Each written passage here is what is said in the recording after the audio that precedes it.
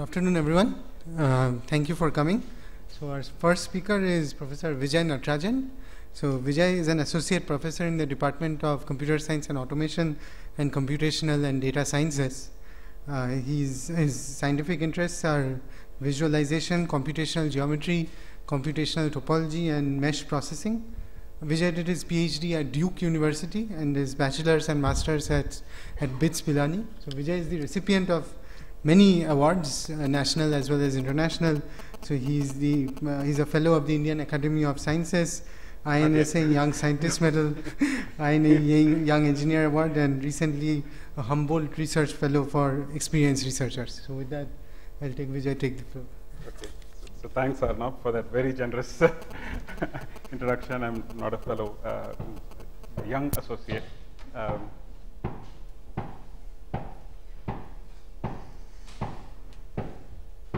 Don't know if they're knocking for me to stop or to start. um, so, so thanks for coming. Um, uh, so there's a lot of contrast, right? So big data, small audience, but uh, hopefully people come. Um, uh, so I'm going to um, talk about symmetry uh, in in scientific data, right? Uh, if it becomes quite bad, then maybe we uh, we take a break or something. Um, so I'm going to start by, uh, by trying to go through the terms in my, uh, the, the, various uh, terms in my, in my uh, title, right? Just to make sure that we are on the same page. And uh, in order to simplify that task, I have uh, shortened the title. Um, so you can read the, the full title there. I'll come to, come to that. So symmetry in, in scientific data, right? So let's start by looking at what scientific data is. Um, so uh, when I say scientific data, I mean data that comes with a uh, geometric context. So, so data where the domain is, um, uh, is spatial. Uh, it could be a line, could be a plane or a surface. Uh, for example, elevation uh, maps or some kind of temperature distribution within this room. Um, um, so in all cases, the domain is spatial, right? So, so such data could come from from imaging devices. Um, so it could be um, near infrared microscopy or electron microscopy uh, or other medical imaging uh, devices. Data could come from simulations. Uh, so uh, simulations to to um, uh, to compute and track networks um, of pores in a in a in a kind of a sponge-like material, or it could be uh, simulations that give you the density distribution in in, for example, something like silica, right, in, in crystal. Um, in all these cases, uh, so you have the data and the focus is uh, understanding the data, right, um, uh, because it plays an important role in the scientific method. Um, now, um, so you have the data and you want to understand it, right? So let's go on to how to understand this data. But before that, we want, I want to just say that the focus of uh, for today's talk is data which can be represented as a scalar function, right, or a real valued function. Now, I have scientific data and I would like to make sense out of it. So I use um, data visualization. So what is visualization? Uh, visualization is the process of uh, creating visual representations of data. Now, um, um, so this has uh, uh, uh been an established, it's an established field about 25 years uh, there's a lot of work done on directly presenting the data to you, right? So what are some interesting challenges that um, uh, have uh, uh kind of that are thrown up in the past whatever five years or so, right? Uh, there are a, a few challenges. I, I, don't present all of them. I just present three here. so the top two are not surprising. the data sizes are, are, are, are rapidly increasing, right? And um, we want to be able to handle large data sizes. Uh, so large data always uh, comes with some context, right? So one gigabyte is, is very large if you are look, if you are working with a handheld device or a mobile device. Um, but may not be too big if you are working with a with a supercomputer, right? Uh, more importantly for me uh, uh, um, is the fact that the data is becoming feature rich, right? So uh, the simulations are, are, are run at higher precision right, with high fidelity. So you have a lot more features that are captured, right? Um, and you want to be able to um, um, um, understand all these features in your data. So as an example, here is a visualization on the right, a classical visualization of combustion, right? So there's a lot of turbulence in combustion, in the combustion process. A classical visualization will display the, uh, the density of fuel or the density of oxygen as it's consumed, and map it to color and show it as a volume, right? Now, as the structure becomes highly turbulent, you, you can't make sense out of this, this entire data. So you want to be able to uh, look at interesting features in the data, which you cannot necessarily see from far away. So there is this spaghetti-like structure on the left, where, which essentially captures these basins of ignition, right? Or basins of extinction of the flame, and how these are connected to each other, right? So if these are computed and you look at the interrelationship between this, these basins, then you get a better idea of how the combustion progresses in your engine.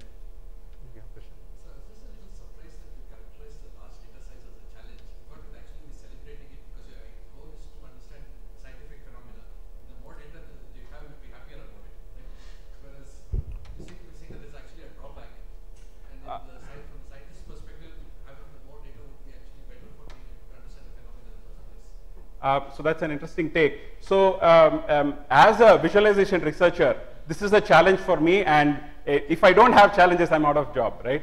So, so uh, I think that is the, the line of thinking when I say this is a challenge for a visualization researcher, right? Um, right. So, um, so, so there is the third um, aspect, which is uh, all the more interesting. Uh, uh, it's also a challenge uh, but related to the, to, the, to the above two challenges, which is um, I no longer want to present the data as it is, right? But I would like to present um, uh, the data together with, with some analysis performed, right? And I already tried to motivate the need for such an integrated uh, analysis and visualization. Now, in order to do this, uh, there, I mean, there are many approaches to integrate analysis with visualization. Um, one uh, uh, approach is to uh, present visual abstractions of the data. So let me give, uh, let me uh, show this by, by example. So here on the middle is uh, a, a, visualization of what's called the visible human data. So this is a, a scan of the human body. So it's just the torso. Um, and this is visualized using a technique called volume rendering where you map the density values to some color and transparency so you see through the volume. Uh, so clearly this does not highlight all the parts that you may be interested in, right, or selectively.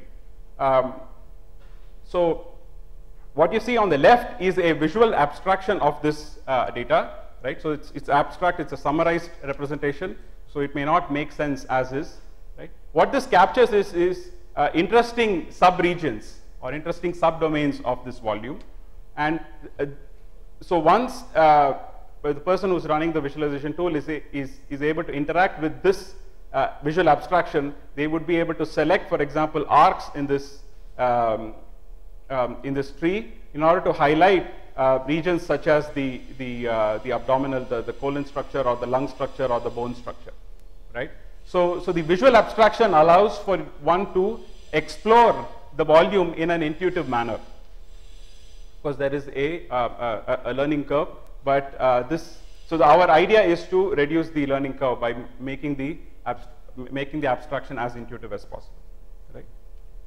So coming to the, uh, to the next term, which is symmetry. Right? So we see symmetry ev uh, everywhere. Right? So we see it in natural uh, uh, objects uh, or, or man-made objects, both in terms of the geometry of these objects and in terms of the, the, the material distribution uh, we also see symmetry in this building, uh, even in the logo of IISc. Um, uh, so now I made this slide, I realized that the text makes breaks the symmetry, so maybe we don't want the text. So we see symmetry everywhere, um, which is reason enough to, to study symmetry, right?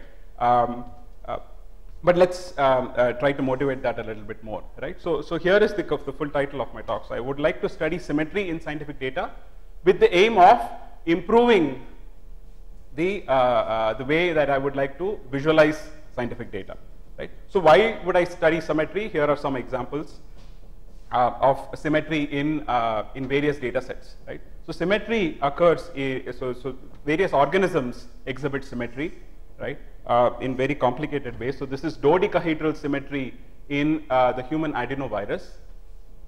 Uh, various protein complexes also exhibit symmetry. Uh, so this is uh, rotational symmetry um, in a protein complex. Uh, in fact, this symmetry is used to solve the structure in the first place. Right? Um, symmetry is also exhibited in various simulations that from engineering domains. So for example, here are some translational reflection symmetries in, in vortex flow simulations. So in all these cases, I am interested in um, uh, studying the symmetry, extracting it, and then using it for visualizing my data. Right? So what do I mean by um, uh, symmetry in uh, scientific data like this, in particular symmetry in a scalar field? So let's get down to some definitions. Right? So informally, uh, when I say symmetry, I mean repeating patterns within the scalar field right? Um, but formally, um, if I'm given a scalar function f defined over a domain M, um, I would call two subdomains M sub 1 and M sub 2 as symmetric um, if there is some transformation that takes M sub 1 to M sub 2. In addition, I would like this transformation to preserve my scalar values also. So, uh, uh, in addition, I would like the transformation to preserve my material distribution. Right? So, uh, here, so here is an example of um, uh, uh, temperature that's uh, distribution in a, in a conductor. So I would call the left and the right legs as symmetric copies of each other um, uh, because they are uh, um, repeating units no, not just in terms of the geometry but even in terms of the material distribution, right, or the temperature distribution.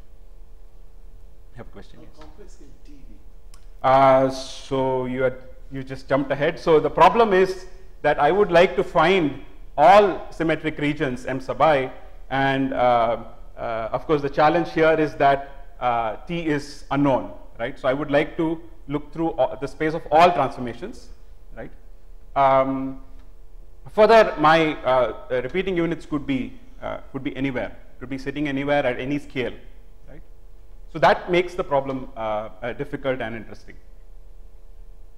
Uh, as we will see, we will, uh, uh, for, for practical uh, uh, data sets, we, we, will, we will restrict T to some uh, class. Yes. Here, here we are looking for continuous transformations or are you allowing for discrete transformations? For instance, in the nano structure, it's a discrete, discrete translation, so trans translation. So we can, fractal-like structures are associated with discrete. So the way you handle discrete symmetry is different from the way you handle discrete. Right. So uh, uh, what you will see here is that I'm um, I'm assuming that my data is represented as a uh, as a real valued function, which I assume is, is continuous. Right. Um, so uh, so there are uh, possible extensions of uh, what I'm describing to the, the purely discrete setting. Right.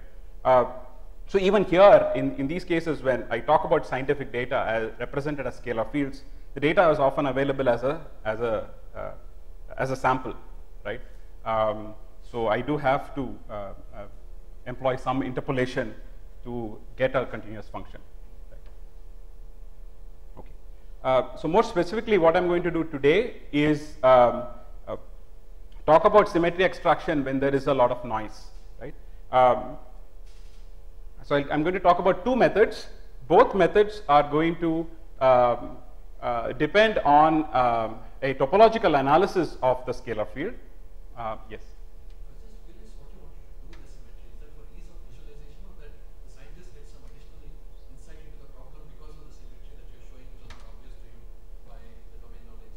So I would like to, so there are many applications. Uh, uh, towards the end of the talk, I will talk about a few sample applications, right? But then there is no limit to the kind of applications.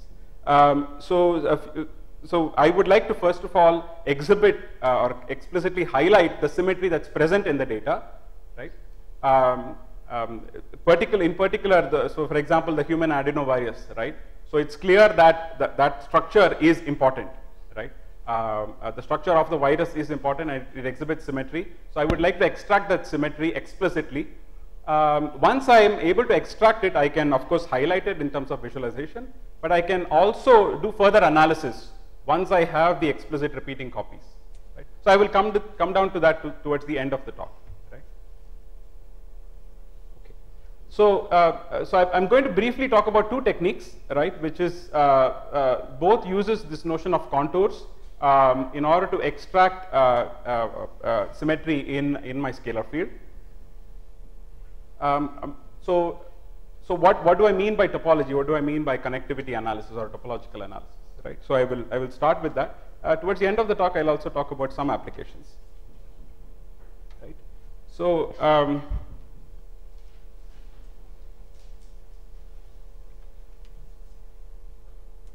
So I'm given a, a, a, scalar field, right, a scalar function defined over a domain.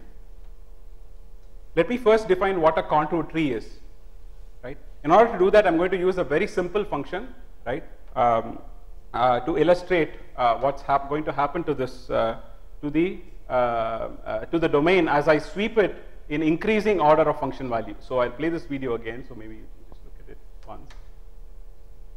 So here, um, my scalar function, uh, the domain is, is this is this 2 torus, right? Um, and the scalar function is the height from the surface, right? So what you see in the video is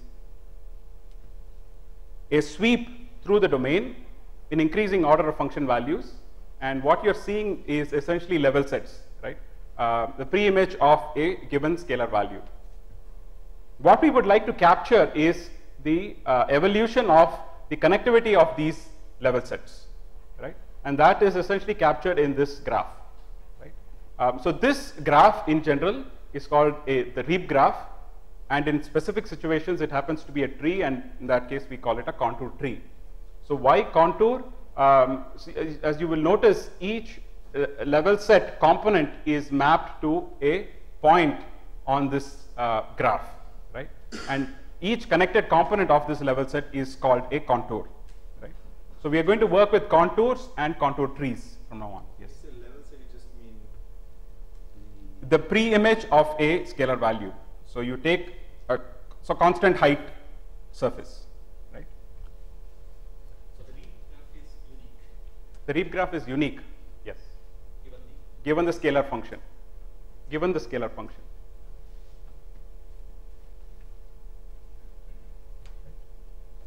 Okay, so more for, um, um,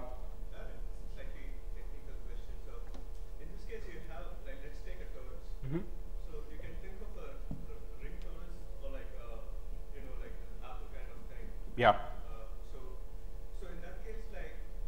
algebraic. Genus is the same for the ring torus and the uh, uh, the one that the signal the topological genus will be uh, different order. So in this case you are actually extracting information only about the topological genus, not the algebraic Um, so I, I, I should say that I don't know what you mean by algebraic genus, but the topological genus is what we capture, yes.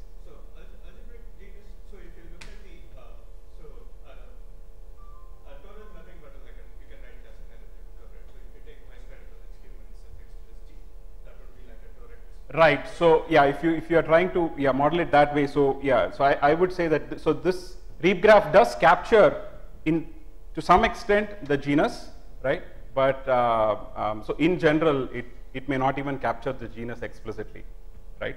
Um, so this is true only for these closed bounded uh, uh, uh, manifolds, right? Especially two manifolds. In other cases, you may not even capture the genus. Right? What you capture is connected components. So, so genus is right. So it's, it's something more than that, right? Uh, so if, if you want to describe it in terms of homology, then you're talking about just the zeroth homology. Yeah, but we can like we can think of this like we can construct a Morse function the same way that we like. Yes. And so with the same in principle you can uh, you can if you find a limiting function then you get information about the Uh, right. So I think we are we are going off tangent by talking about that, right? Because here we are given the function, and my aim is to understand the function and not the space, right? The space is typically simple, right? It's simply connected, and uh, there's nothing much to learn about the space. Uh, what's interesting is the function defined on the space and the and the regions defined due to the function.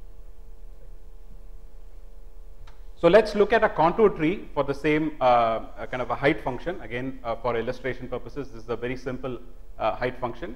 And you again notice that the contour tree captures the, uh, uh, the connectivity changes in the um, in the level set, right? Now, if you want to look at it, um, um, so I already talked about this. If you want to state this formally, right? So what we have in the contour tree is essentially just the quotient space, which is defined by uh, gluing together points that belong to the same connected component. Right? Um, what what we would do is we would so this contour tree is going to be crucial for our analysis, but we would present the contour tree in a slightly different way, right? Um, so I would present the contour tree um, uh, uh, more similar to a biological tree, so with with a trunk and uh, and branches?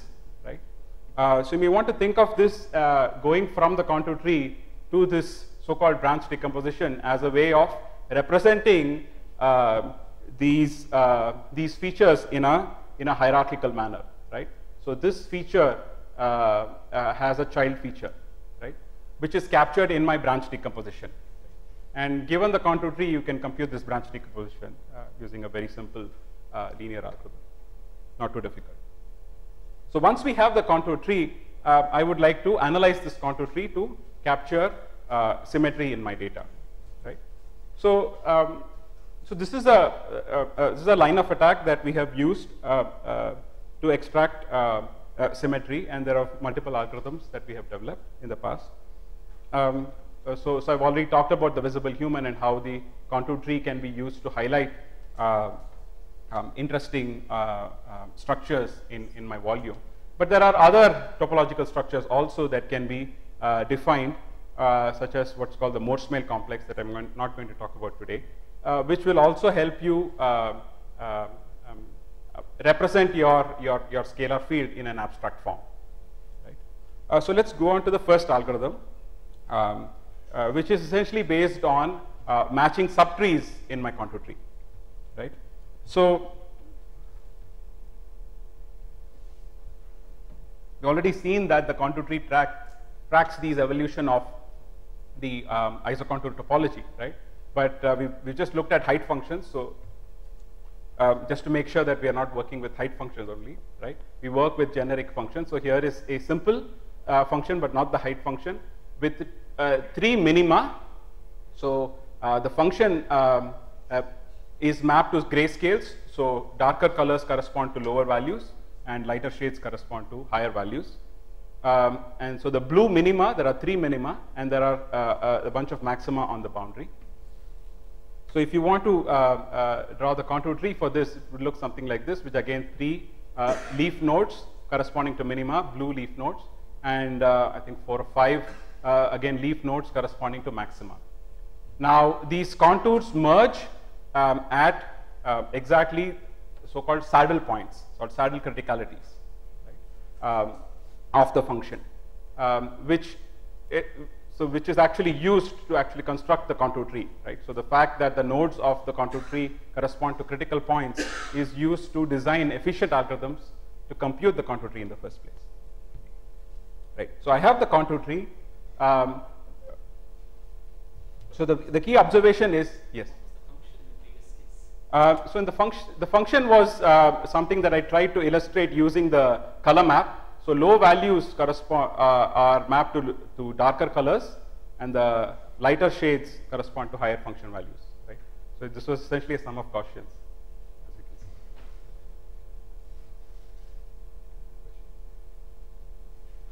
Um, so, so the first algorithm is based on the observation that um, similar regions um, in my domain uh, would map to uh, similar subtrees of the contour tree, right? Uh, so I, I, I turn this around and try to identify um, similar subtrees in my contour tree, right? And in order to do that, um, uh, I need a measure of similarity between subtrees, um, which uh, looks at the, uh, the function distribution and possibly the geometry. Um, and I also need a way to enumerate various um, interesting subtrees. I may not be interested in all possible subtrees, right? As, uh, as we already saw, there is this hierarchy of features. So I'm not interested in all subtrees. I'm only interested in, a, uh, in, in, in select subtrees. So I need a way to enumerate these subtrees.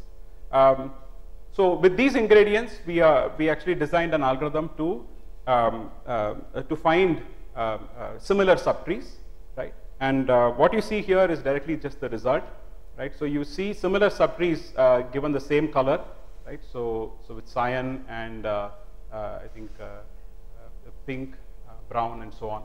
And what you see on the left is a volume visualization of um, um, of a molecule which was imaged using electron microscopy.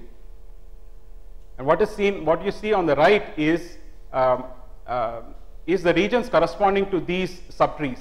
So, for example, all the all the purple guys are are, are mapped to this uh, these set of uh, uh, collections of atoms, right?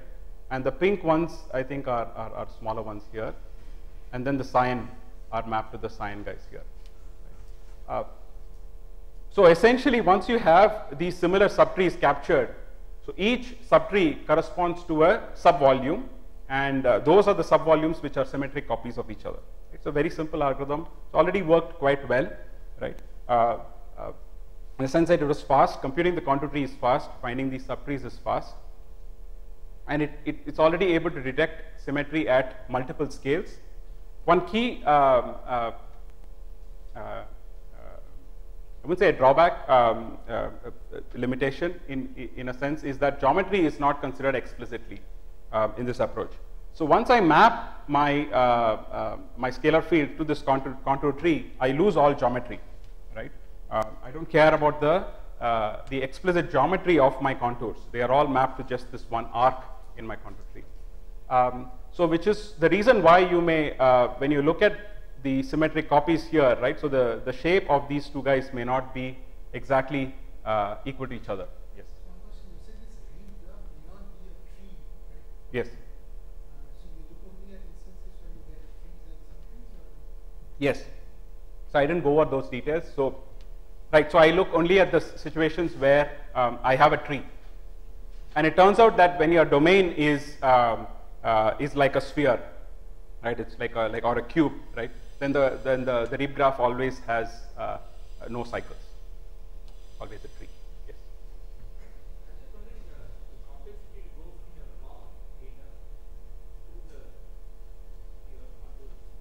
So is that uh, something which is a single pass to the you can get that or you, know, you have like rotational the same object, the rotational symmetries. Right. I'm just wondering how Right. So, so, so the, uh, the, the power of this approach is that you, we don't have to look at the space of all transformations, right? Uh, since we go from the data to this abstract representation, uh, so um, uh, I don't have to look at transformations explicitly. So your question is, um, uh, does this mapping capture um, all, so, so the, the uh, so computing the contour tree is requires just a single, essentially a single pass, right? I mean, two passes, right, through the data. The other Yeah. question is, do you have a way of weighting? Um, I'm sorry. You could have regions which are similar but not symmetric. You know, same thing appears in larger Uh, scale. larger scale, yes. Right. So, uh, right. So, the, the, so these were the same thoughts that that that went through uh, our minds when we were talking about this initially, right? Um, so it turns out that uh, there's a, a large, uh, uh, uh, several data sets where the symmetric copies are at the same scale, right? So we try to solve this simpler problem first, and um, uh, so working across the scale um, um, is uh, is difficult, at least on on the ground. It turned out to be quite difficult because of a lot of noise and.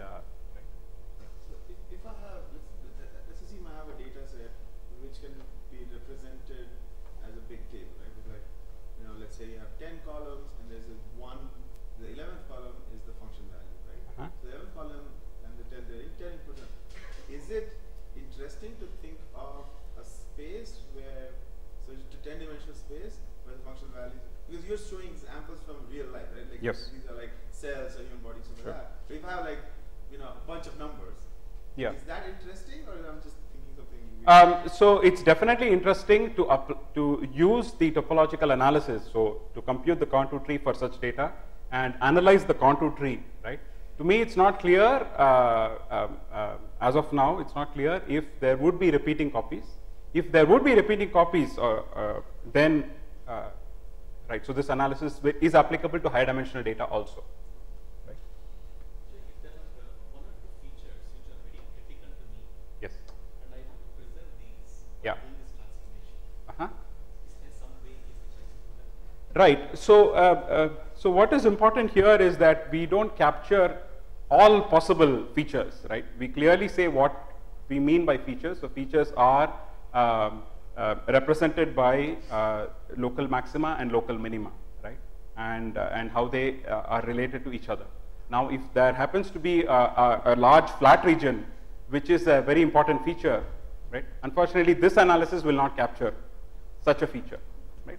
How, how, on the other hand, if within this framework, I would like to give higher weight to uh, certain maxima, right, within a certain region, right, based on my application domain. Let's say I know that my, the, the left part of my data, right, uh, was, uh, uh, was computed at higher precision as compared to the right, right, or there was a nest within which the data is available at higher precision. So I would like to preserve the data, the features within that subvolume. We can always do that. Um, so, uh, so note that while we uh, remove all geometry when we go into the tree, right? So each tree still has a mapping back to the uh, to the domain. So I could use that uh, in order to do further analysis. So defining F uh, turns out to be very important. defining the f turns out to be important if you want to study the space, but uh, for me, f is given uh, from the from the domain, right? So in this case, it's the electron microscopy data. So uh, so uh, right, so the, the, the density information from there.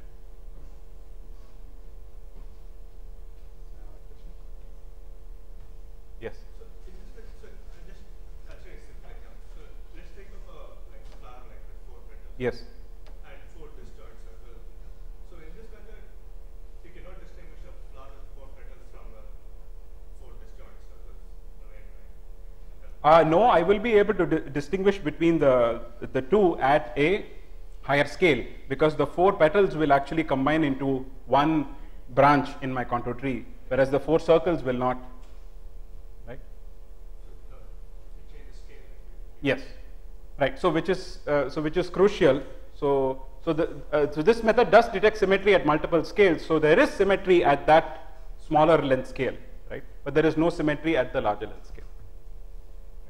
Um, so, so in the interest of time, I will uh, uh, talk about the second technique, uh, but not in great detail, right? So, so, uh, so the second technique follows uh, with this discussion of contours, but now we would like to incorporate the geometry of these contours uh, in order to extract symmetry, right?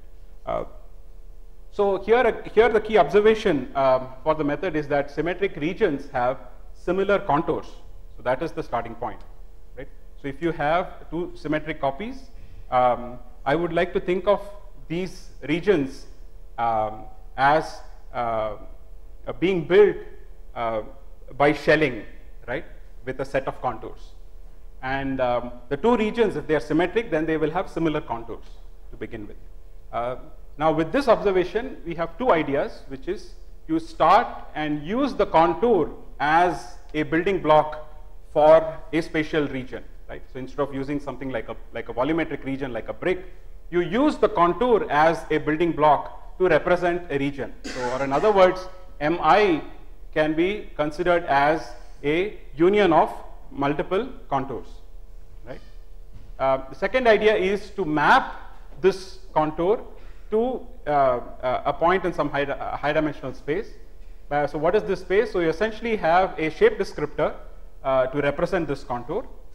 And I make the shape descriptor transformation invariant. And uh, so this is a choice I have. Um, if I'm interested in um, uh, just rotation invariance, then I look at shape descriptors that are rotation invariant, right? Uh, I think this answers one of the earlier questions about the set of all transformations that, we have, that I'm looking at. Uh, so given these two ideas, here is a pipeline, right? Um, so I start with my input uh, data, so a volume uh, with a scalar field defined on top of that. I begin by generating contours. Um, so here are a set of contours, right? Um, and each contour is now mapped to a point in high dimensional space. Uh, and sim similar uh, symmetric regions would have similar contours. So I would expect these contours to cluster together, right? uh, and I run any uh, clustering algorithm to um, extract the symmetric regions. So here I have a pink cluster which corresponds to three, uh, uh, uh, three regions here, right, which are copies of each other. There's a blue guy here and then there's a yellow guy here. So, so here I have incorporated the geometry of these contours by, uh, uh, by representing them in this high dimensional space, right? So crucial to this, up, to, this, uh, to this, to the success of this method is how we generate the contours, right? Once we generate the contours, the, there's um, uh, existing work to, uh, uh, uh, to, to, to, to define descriptors, shape descriptors, right? Depending on what kind of invariance I would like, and clustering, of course, is a lot of work on clustering. Right? So I just borrow from those ideas. So what is crucial is to be able to generate these contours. And generating the contours, again, um, we have the necessary tools in place. We have the contour tree, um, which not only captures the uh, uh, uh, the evolution of the level sets, right? But it also allows me to sample the space in order to cap intelligently so that I can select distinct contours, right? So I again use the contour tree to generate um, um, few contours which are distinct from each other um, and also contours that are not small, contours that are uh, uh, not uh, sensitive to small perturbations, right? So again, the contour tree comes to, to save the day, right? So this essentially means this way of selecting these contours essentially means that my my clustering result is is robust to noise, right? So I perturb the function a little bit, uh, uh, my clustering does not change? Um, it also means that it's, uh, it's able to capture uh, symmetry uh, uh, uh, while not being bothered about noise in the data, in, noise in the sense small features, right? So here is a volume rendering of another molecule, uh, again an electron microscopy data. Um, so, so this, vo- this volume visualization again is generated by mapping the scalar value to color and to transparency, so you can see through, right? Um, the, the gray shades uh, essentially correspond to noise in the data, right? So these are um, uh, some things, these are uh, um, kind of features that you want to ignore while capturing this true symmetry, right? That our human uh, kind of visual system is able to do quickly, right? Um, but of course, this generating this volume visualization is, is quite a task, right? You would first have to assign an appropriate color map that highlights this region and uh, gives a different color to these guys? Uh, and that's an art in itself, right? Uh, on the other hand, what we would do is to detect the symmetry directly by uh, uh, apply, applying this pipeline, right? Um, and we essentially get these four repeating copies, so there's rotation symmetry. Uh, but that's not it. So you can detect symmetry at the lower length scales also, right? So each of these, uh, uh, uh, so this is essentially a protein complex. There are four subunits, and those uh, subunits essentially consist of residues, right? Um, which may consist, uh, uh, consist of atoms and so on, right? So we are able to detect symmetry at each length scale. Um, so each of them appear as a different cluster. Um, so here are more examples to show that we can detect symmetry at different length scales. So here again the adenovirus. Uh, so there is uh, the dodecahedral symmetry here. Uh, so there are these long, uh, um, um, I don't know what to call them, uh, folds sticking out from the virus, right, which are uh, again copies of each other.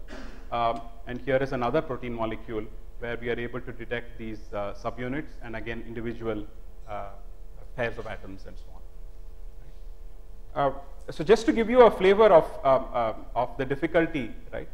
Yes. So in your methods for finding uh, uh, similarity or uh, symmetry here, do you use, do you al- also allow the flexibility of finding symmetry in the show? Yes. Yes. So, um, uh, um, so I, yeah, I didn't go into the details of uh, of the algorithm much. Um, so we al- we allow for uh, one parameter, right, which is an approximation parameter. So if you set the approximation parameter to zero, you are um, you are, you are interested only in exact symmetry, so exact copies. As you increase epsilon, you are interested in uh, approximate? Uh, so it's interesting to actually uh, use that as a slider to, to analyze the kind of uh, symmetric structures you do have.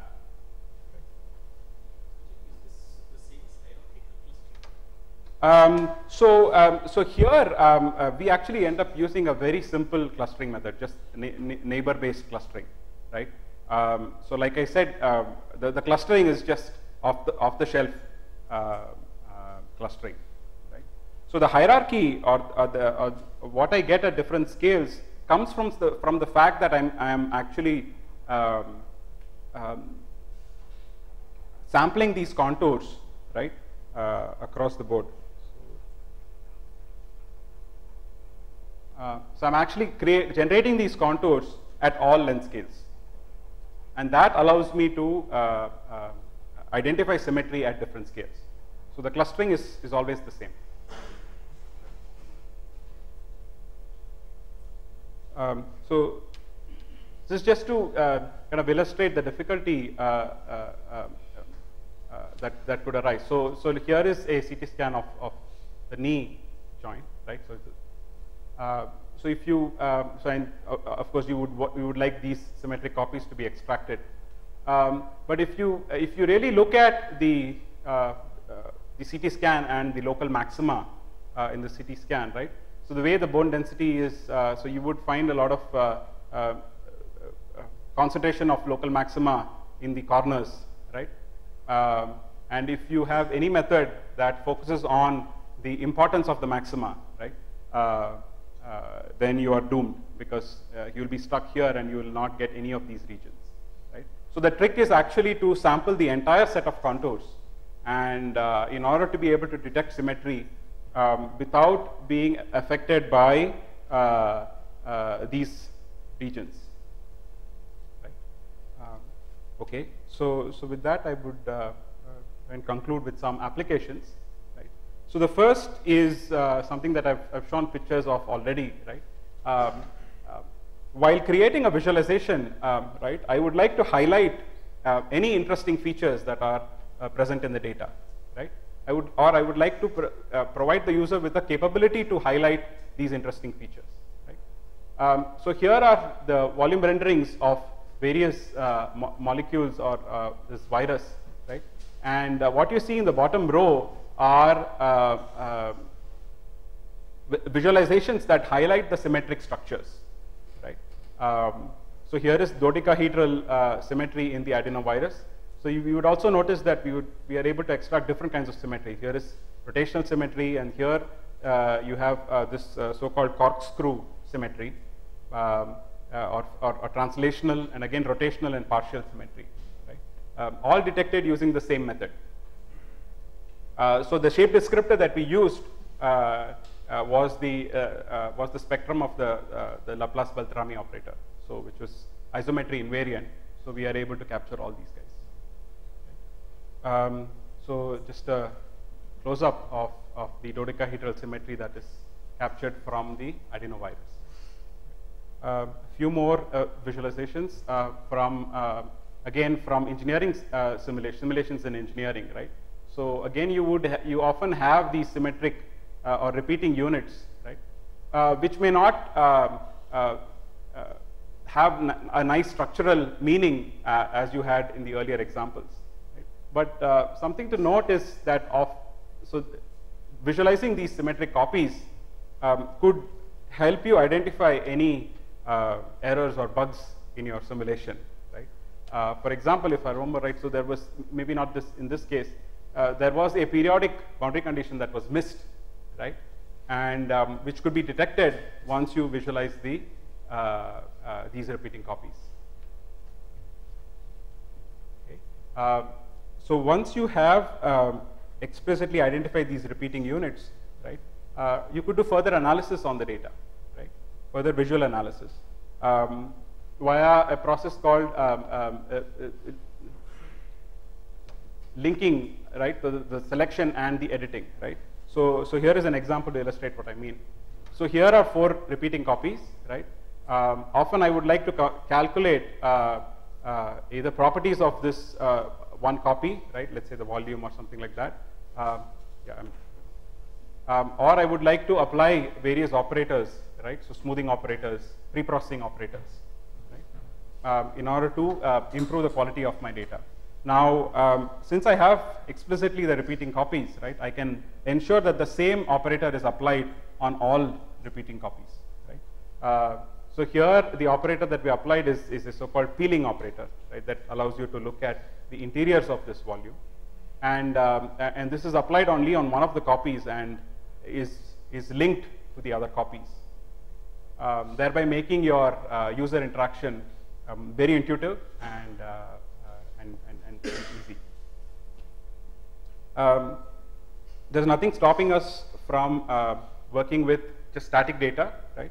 Uh, we could explore uh, symmetric copies in time varying data, right? By thinking of the space-time as uh, as one single four-dimensional data.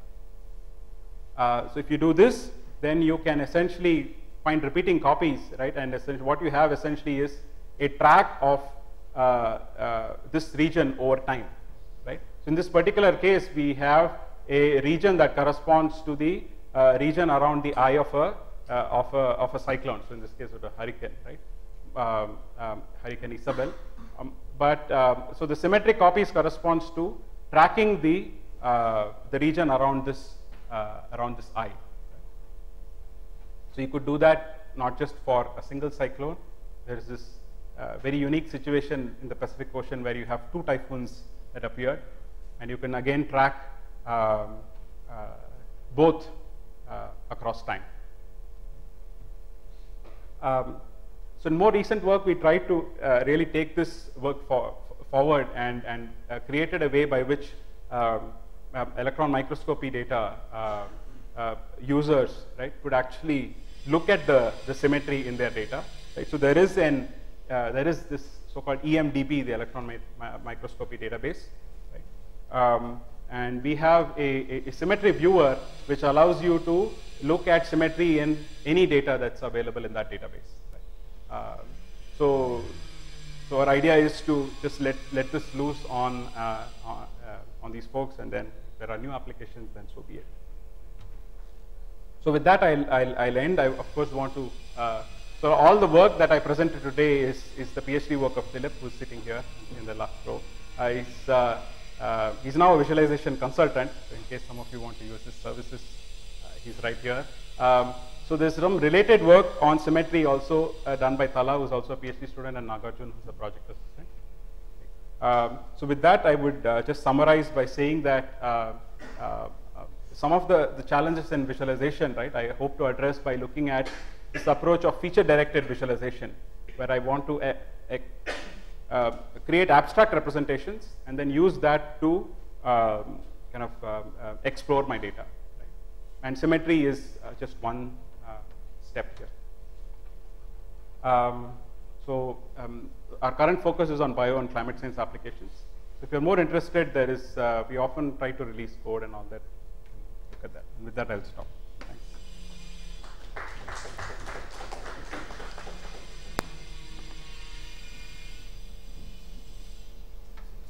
Yes.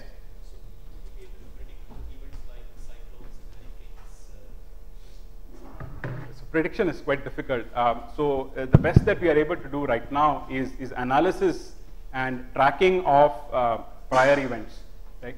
Um, um, yeah, so I, I think I will leave it at that. Prediction is, is a whole different ball game altogether. About vector valued functions, like uh, low uh, in three dimensional. Yes, Uh, yes. So uh, uh, as of now, we have uh, we have uh, not spent a lot of effort on looking at vector valued uh, functions. So the vortex flow data that you saw um, was actually data where the vector valued uh, uh, whatever the, the, flow field uh, was processed to give me vorticity uh, information, right? Or in that particular case, it was temperature, I think. So uh, we, as of now, work with uh, scalar fields. Some of these techniques apply to vector fields also.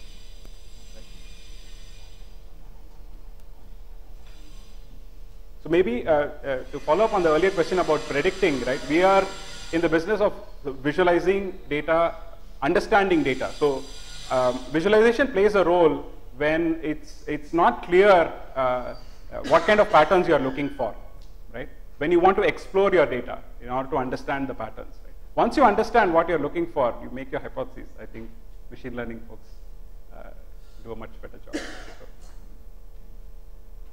So the kind of data symmetries were not obvious to the domain experts that you highlighted, and they were surprised by saying, I never realized that.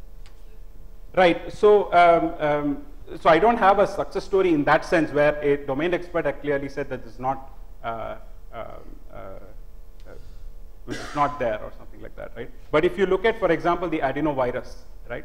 To create that volume rendering, right, uh, uh, takes a lot of effort, right, to even find. Uh, so let me go back to here, right? To even create this volume rendering, right? Where you, uh, so if I just show the raw data with a random color map, you won't see the symmetry, right? So, th so there's a lot of uh, expert work that has gone into uh, uh, to generate this image. Uh, so what, what we are able to do is to generate such such an image al almost automatically, right? With with a single parameter. So that is the the big step forward.